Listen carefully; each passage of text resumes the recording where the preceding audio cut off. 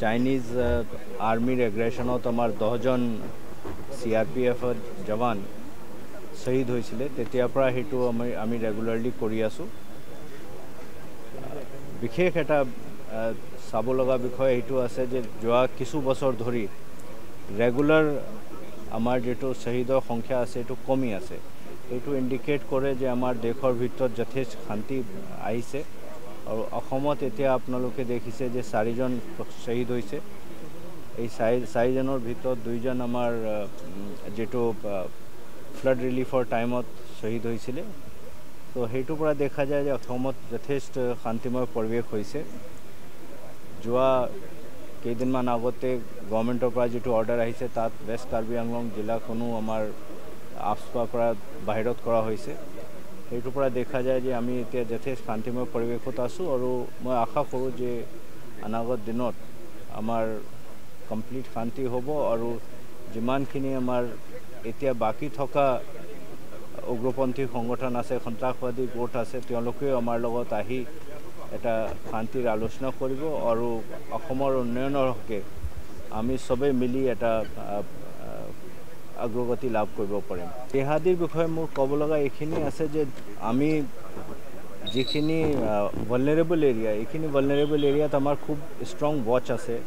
State পুলিচৰ state intelligence agency আৰু central intelligence agency আৰু আমি য'ত য'ত খবৰ পাওঁ ঠিক তেনেকৈ ইমিডিয়েটলি একশ্যনটো কৰা হয়।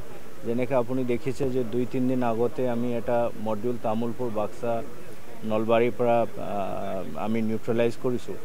তেওঁলোকে এতিয়া মানে এটা নিউক্লিয়াছ বনোৱা এটা ধান্দাত আছিলে যিটোকে তেওঁলোকে এটা গ্ৰুপ বনাব পাৰে আৰু আল কায়দা এ বি টিৰ লগত তেওঁলোকে এটা এলিজেঞ্চ কৰি এক্টিভিটি কৰিব পাৰে। কিন্তু সদ্যহতে তেওঁলোকৰ লগত ইণ্ট্ৰগেশ্যনত আমি যিখিনি দেখিছোঁ তেওঁলোকে অকল নিউক্লিয়াছ আৰু নহ'লে এটা শ্লিপাৰ চেল নিচিনা বনোৱা ষ্টেজত আছিলে। এতিয়া তেনেকুৱা কোনো ট্ৰেইনিঙৰ নে আৰ্মড একশ্যনৰ কথা ওলোৱা নাই।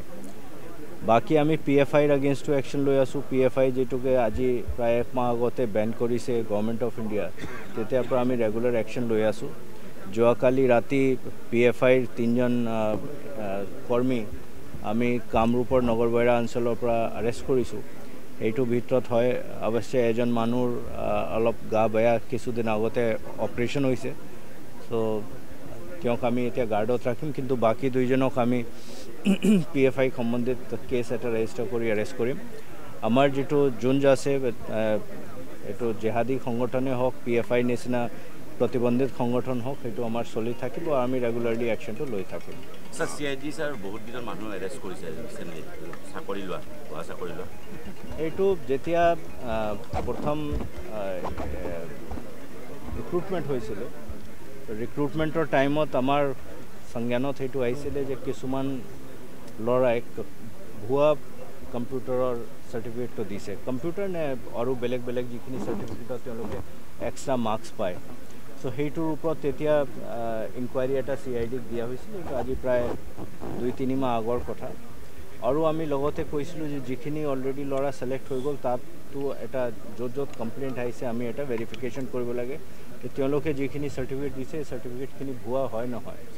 ত' সেইটোৰ ওপৰত চি আই ডিয়ে এটা তদন্ত কৰি আছে। তদন্ত কৰি তেওঁলোকে এতিয়ালৈকে যিখিনি পাইছে এই ল'ৰাখিনিক এৰেষ্ট কৰা হৈছে। আৰু এইটো আমাৰ কণ্টিনিউৱাছ প্ৰচেছ চলি থাকিব। যেনেকৈ আমি আগত কৈছোঁ যে আমাৰ পুলিচৰ যিখিনি ৰিক্ৰুটমেণ্ট হৈছে এইটো আমি কমপ্লিটলি হাণ্ড্ৰেড পাৰ্চেণ্ট ট্ৰান্সপেৰেণ্ট নিকা কৰিম। আৰু ক'ৰবাত যদি কোনোবা এটা ভুৱা চাৰ্টিফিকেট দিয়ে আৰু দিবলৈ চেষ্টা কৰে আমি একশ্যন লওঁ।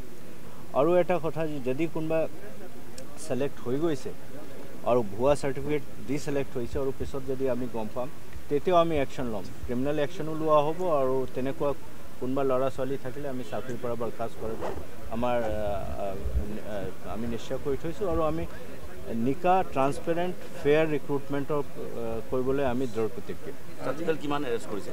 এই ফিগাৰটো মোৰ হাতত এতিয়া সদ্যহতে নাই কিন্তু প্ৰায় আঠজনমান এতিয়ালৈকে এৰেষ্ট হৈছে। এই কথাটো আপোনাৰ সম্পূৰ্ণ উচিত কোৱাটো উচিত নহয় কাৰণ আলফাৰ বহুতকেইটা গ্ৰুপ গোট এতিয়া আমাৰ লগত আলোচনাত মিলিত হৈছে আৰু যথেষ্ট অগ্ৰগতি লাভ কৰিছে।